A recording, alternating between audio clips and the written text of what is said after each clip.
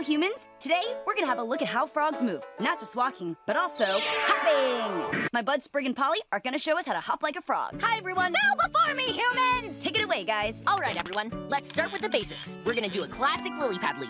Crouch nice and low, Work that hiney. and leap straight up.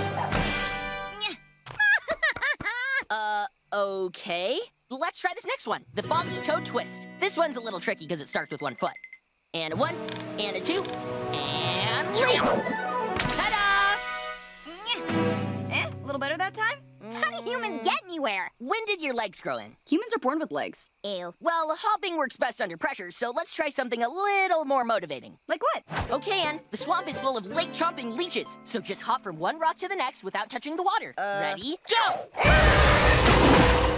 Anne, you did great! I did it! Yeah! Whoa, whoa!